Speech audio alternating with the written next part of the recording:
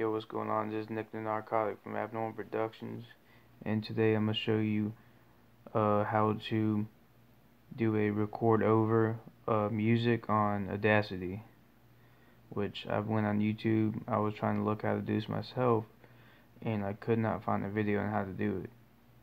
And so I'm gonna go ahead and show you how to do this. So first you open Audacity, and then you go ahead and import Go ahead and import a song. So make sure I'm doing this right. Let's go to open. Quick access. Download.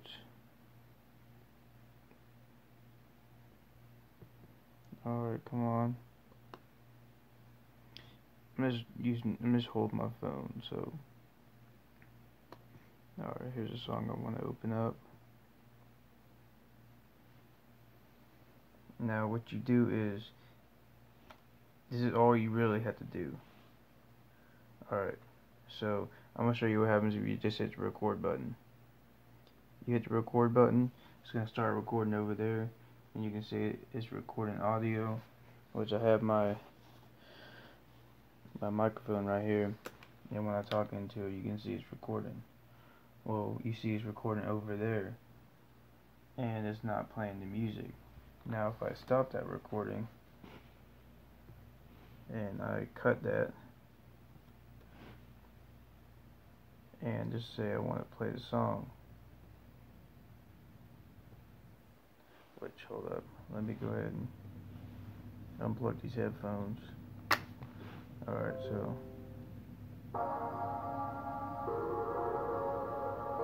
You cannot hit the record button, right? I'm sure you cannot hit the record button. So this is what you do. You hit the back back button so you can start your track from there. And literally all you have to do is on the keyboard, which I'm gonna show you. You just hit shift and R. Boom it's recording. And now you can go ahead and start recording. So I'm gonna go ahead and play this back when it's done. But you can see there's a graph under there where it's recording my audio. And you can still hear the song. So when you're in headphones you'll be able to record and still listen to the song at the same time. So I'm gonna go ahead and cut that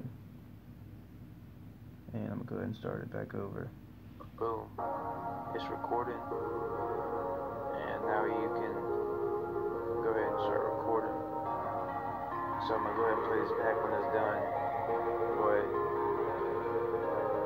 you can see there's a graph under there where it's recording my audio and you can still hear the song. So when you're in there. So yeah, just uh shift just shift and R which I'm going to go ahead and do that again for you so you can see. There's no trick to it so start it back over. And shift R shift R. And there it is. It's recording audio while the music is playing. So yeah it's very simple I don't know what they were showing you on YouTube about getting all these third party applications, you don't have to do that. This is all you have to do. So, if you like the video, just give it a thumbs up and, uh, you know, comment what what y'all found out.